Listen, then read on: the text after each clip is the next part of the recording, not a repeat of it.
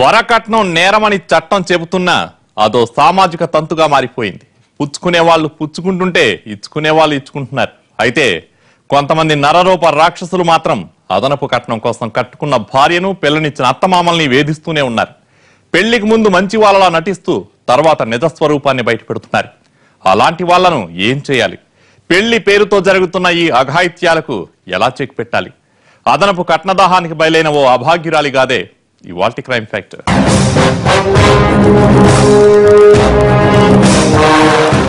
అమ్మాయికి సంబంధం చూసే తల్లిదండ్రులు అబ్బాయి మంచి చెడు అన్నీ తెలుసుకునే పెళ్ళి చేస్తారు. అయితే అతను ఎలాంటి వాడో నలుగురి ద్వారా తెలుసుకోగలరే తప్ప దగ్గరుండి గమనించే అవకాశం ఉండదు. తేనె పూసిన కత్తుల్లాంటి అబ్బాయిలు పెళ్ళికి ముందు ఒకలా తర్వాత మరోలా కనిపిస్తారు. ఆ అమ్మాయి విషయంలో కూడా అదే జరిగింది. పెళ్ళి కాగానే అల్లుడి మంచితనం ముసుగు తొలగుతూ వచ్చింది. ఇతను రామకృష్ణ.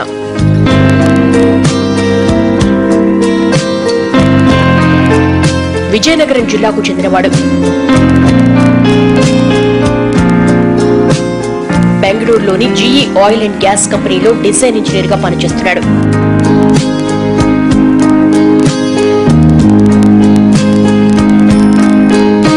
ఈమె బొబ్బిలికి చెందిన శ్యామలారాణి రామకృష్ణ భార్య.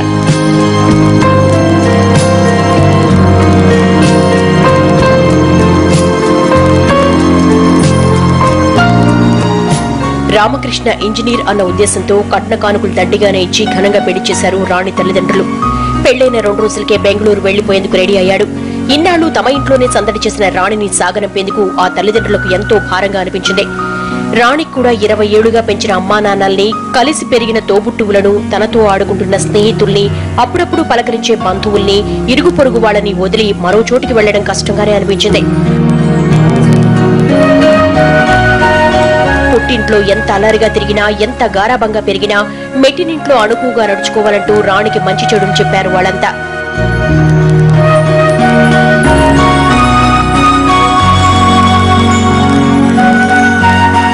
ఇంతలో అల్లుడు గారికి కోపం వచ్చింది. చీకటైపోతోంది. త్వరగా కానియండి అంటూ ఒక్కడే వెళ్ళి బండకి కూర్చున్నాడు రామకృష్ణ. మనిషి అన్నాక కాస్త ఓపిక ఉండాలి. అప్పుడే మనశ్శాంతి ఉంటుంది. సహనం లేని మనిషి మనసు ప్రశాంతంగా ఉండదు. ప్రస్తుతం రామకృష్ణ పరిస్థితి అలాగే ఉంది.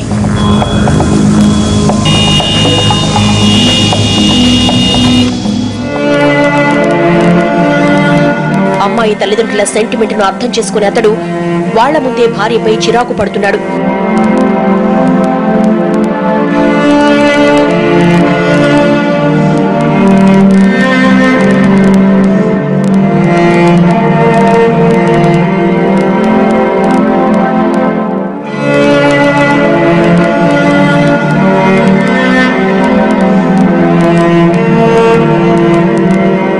దాన్ని బట్టి అర్థమైంది వాళ్ళకి అతని మనస్తత్వం ఏమిటో. రామకృష్ణ మాటలకు మనసు చివుక్కుమంటున్నా చేసేదేమీ లేక రాణిని అతనితో సాగనంపారు.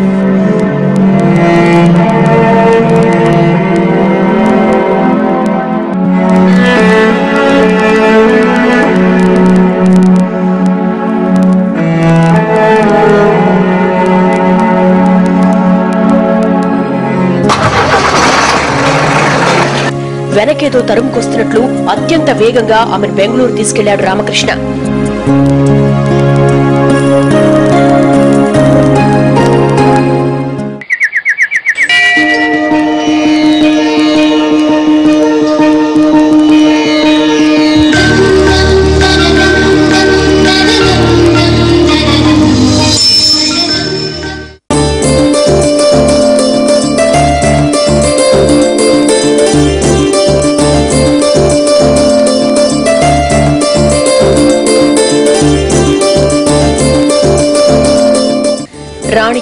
నుంచి ఎంతో గారాబంగా పెరిగింది.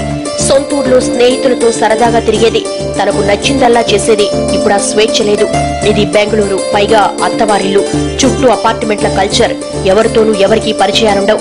తెల్లారి లెగిస్తే ఎవరి పనుల్లో వాళ్ళు బిజీ బిజీ. లక్ష్మీ క్షీర సముద్ర రాజతనయా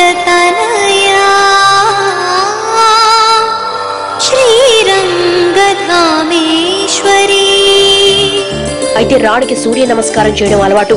చుట్టూ బిల్డింగుల వల్ల అక్కడ సూర్యుడు కనిపించకపోవడంతో తను ఉన్న అపార్ట్మెంట్ పైకి వెళ్ళింది. మనసారా సూర్య నమస్కారం చేసుకుంది.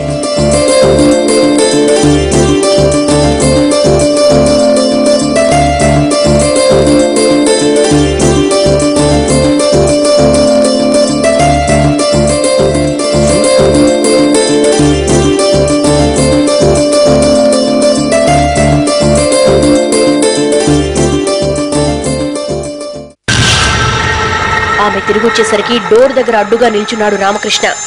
ఎవరి దగ్గరికి వెళ్ళొస్తున్నావు అని అడిగాడు.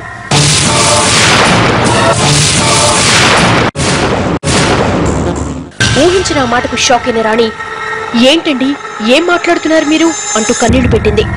ఒక్క క్షణం కూడా అక్కడ నిల్చోలేక ఏడుస్తూ లోపలికి వెళ్ళిపోయింది.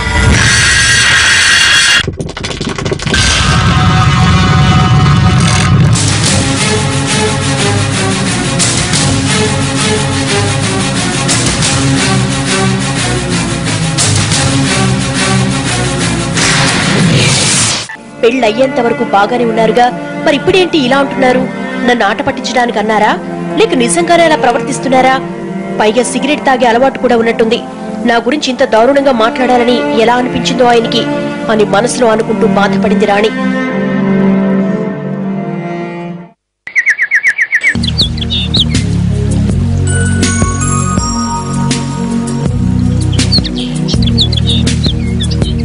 ఆఫీస్కు రెడీ అయిన రామకృష్ణ ఏయ్ షూ తేవాలని తెలీదు బయట గుమ్మం దగ్గరుంటాయి వెళ్ళు వెళ్ళి తీసుకురా అంటూ గద్దించాడు. అమాయకురాలైన రాణి వెంటనే షూ తెచ్చిచ్చింది. ఐదు లక్షల కట్నానికి అనవసరంగా నిన్ను చేసుకున్నాను. మరో అమ్మాయిని చేసుకునుంటే ఇంకా ఎక్కువ కట్నం వచ్చేది అని మండిపడుతూ ఆఫీస్కు వెళ్ళిపోయాడు